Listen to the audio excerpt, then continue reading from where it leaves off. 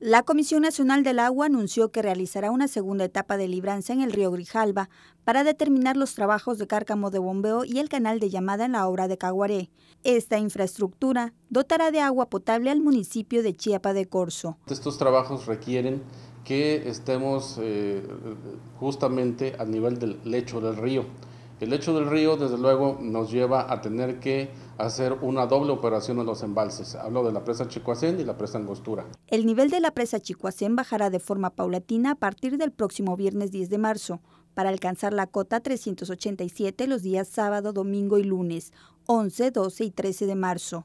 Al mismo tiempo, la Conagua operará el cierre de la presa La Angostura los días 10, 11 y 12 para no presentar aumento por las extracciones hacia la isla de Caguaré y con ello asegurar el avance de los trabajos. Hemos estado avanzando afortunadamente muy bien.